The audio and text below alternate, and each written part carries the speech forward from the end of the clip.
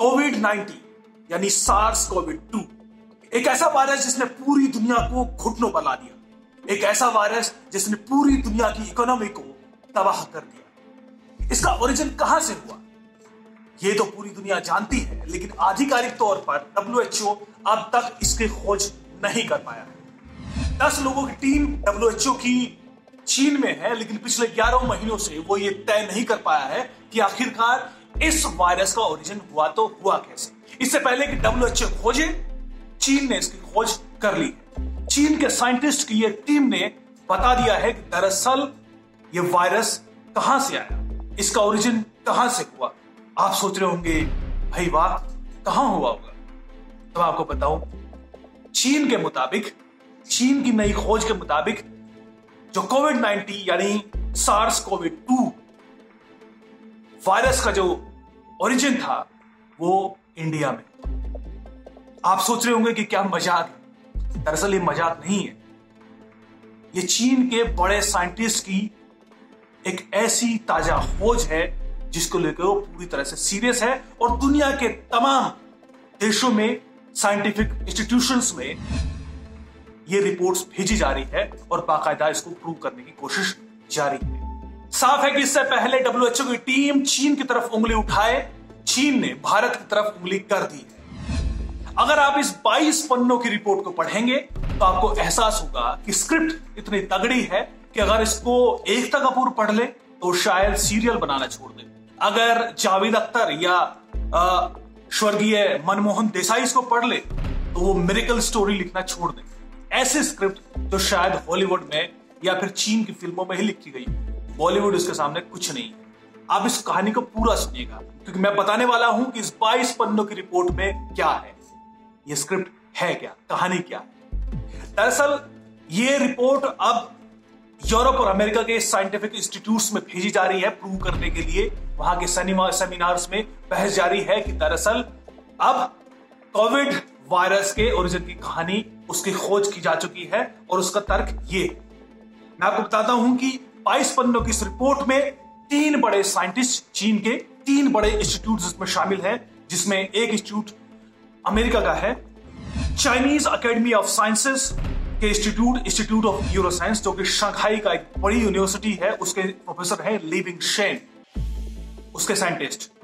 दूसरे साइंटिस्ट हैं फुनान ही, जो कि फूडान यूनिवर्सिटी के स्कूल ऑफ़ लाइफ साइंसेस के साइंटिस्ट हैं।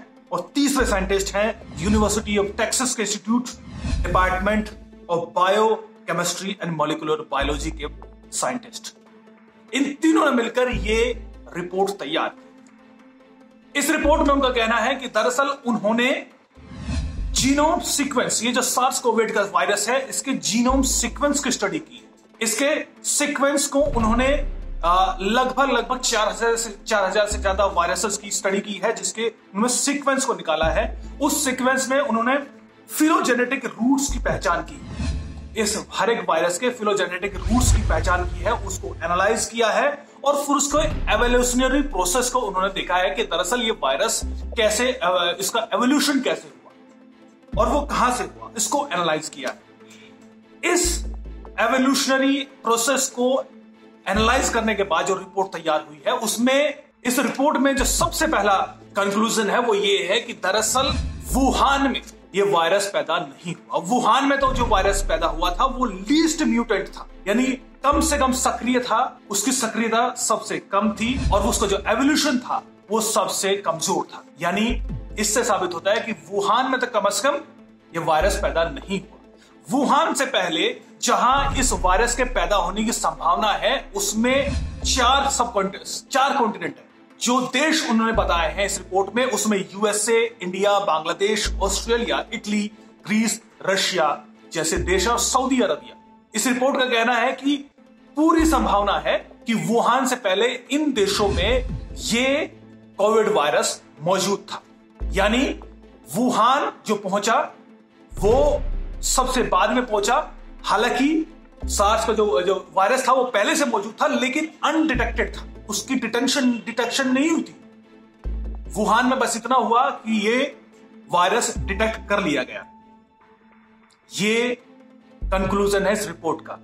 लेकिन इसमें आगे और ज़ीरो इन किया है उन्होंने इस रिपोर्ट में। उसने कहा कि दरअसल जो सबसे ज़्यादा संभावना है, वो ये है कि ये वायरस पैदा हुआ है भारत में। और पैदा कब हुआ? जुलाई, अगस्त 2019 में ये वायरस जो मौजूदा स्थिति में जिसने पूरी दुनिया को घुटनों पर ला दिया है, दरअसल वो जुलाई, अगस्त के महीने में भारत में पैदा हुआ। कैसे? दरअसल इस रिपोर्ट के मुताबिक मई, जून 2019 साल 2019 के मई और जून महीने में इंडिया और पाकिस्तान के सेंट्रल और नॉर्थन पार्ट में लॉन्गेस्ट हीट वेव रिकॉर्ड की गई। इसके लिए उन्होंने एक विकी पीडिया का एक सोर्स भी कोट किया है। उसके मुताबिक जो हीट वेव थी, उससे कहीं ना कहीं वाटर क्राइसिस पैदा हुआ इस पूरे रीजन में सेंट्रल इंडिया में और नॉर्थन इंडिया में और पाकिस्तान के एरिया में। यहाँ पर हीट वेव की वजह से वाटर क्राइसिस शुरू हुआ, जिसकी वजह से जो एनिमल्स वाइल्ड एनिमल्स थे, यानी जो जंगली जानवर हैं, उनमें कहीं ना कहीं इस वाटर क्राइसिस की वजह से परेशान उन, उन, उनको पानी की कमी झेलनी पड़ी जिसकी वजह से वाइल्ड एनिमल्स में आपस में हिंसक झड़पें हुई। जी हाँ इन हिंसक झड़पें।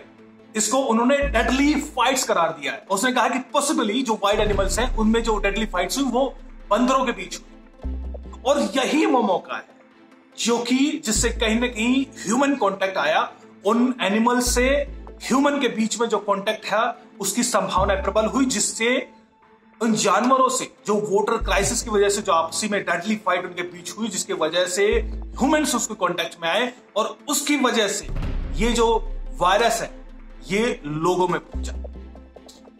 आप स्क्रिप्ट पढ़ रहे हैं स्क्रिप्ट सुन रहे हैं, क्या ज़बरदस्त स्क्रिप्ट लिखी?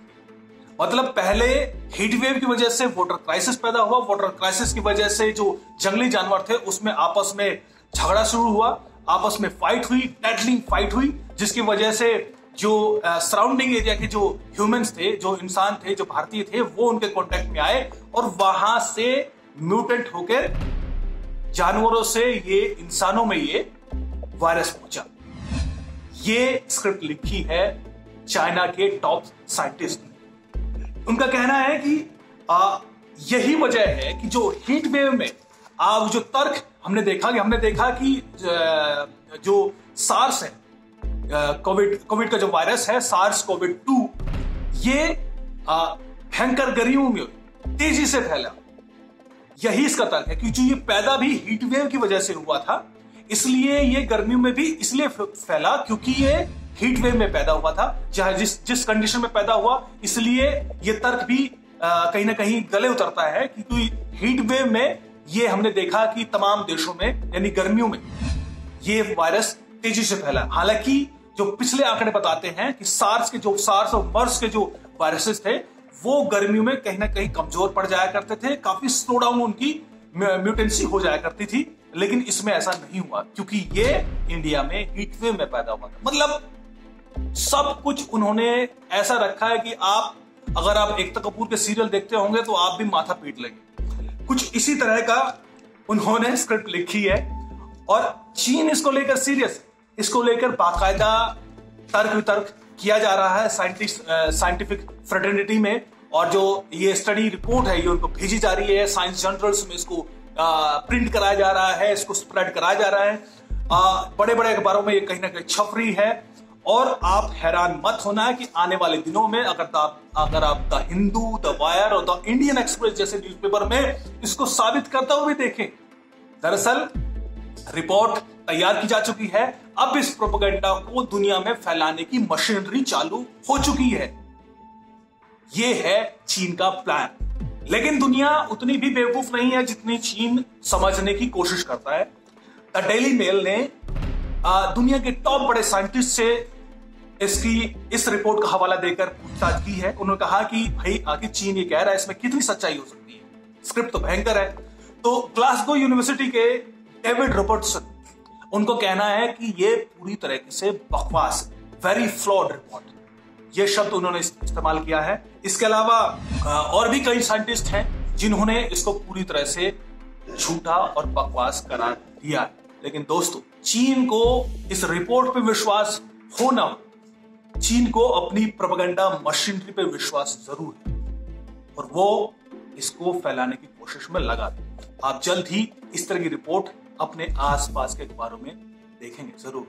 लेकिन चीन से ये अकेली खबर नहीं है जो कि एकदम चौंकाने वाली है, दिलचस्प है और बेहद खौफनाक भी है। चीन के नॉर्दर्न चाइना के सांक्षी प्रोविंस में एक खबर आई है जिसके मुताबिक, जिसको खुद ग्लोबल टाइम्स ने रिपोर्ट किया है, जिसके मुताबिक हेडल फिशेज हेडल फिशेज दुनिया भर के देशों में इसका कंजम्पशन होता है और बहुत ज़्यादा मात्रा में इसका कंजम्पशन होता है।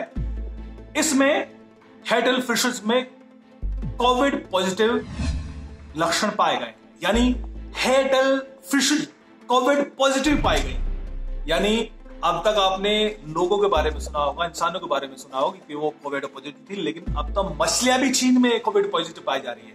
और इसको हम नहीं कह रहे, ये खुद उन्हीं के प्रोपेगेंडा अखबार द ग्लोबल टाइम्स ने रिपोर्ट की है। इसके बाद चीन ने जो इसका इंपोर्ट है, वो बंद कर दिया है।